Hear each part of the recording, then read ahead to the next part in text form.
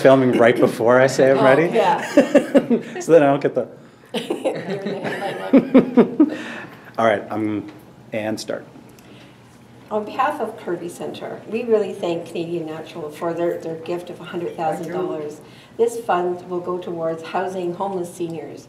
And uh, we- our shelter is, uh, was actually at, at risk of closing. And so this has really helped making sure through the winter that we have six more older adults housed, warm, fed, and planning for their future. And so without your contribution, this would have been devastating. So on behalf of the seniors, Kerby, and all of us, we really appreciate Canadian Natural for their contribution today. Thank you. We're pleased to help Luann. Our seniors in our community mean the world to us, so we were very, very pleased to be able to help out. That's great. Thank you so much. You're welcome. Excellent. Let's try that. We'll play that back.